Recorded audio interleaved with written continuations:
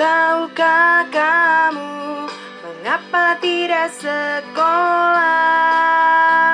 Kata guruku sedang libur dan belajar di rumah.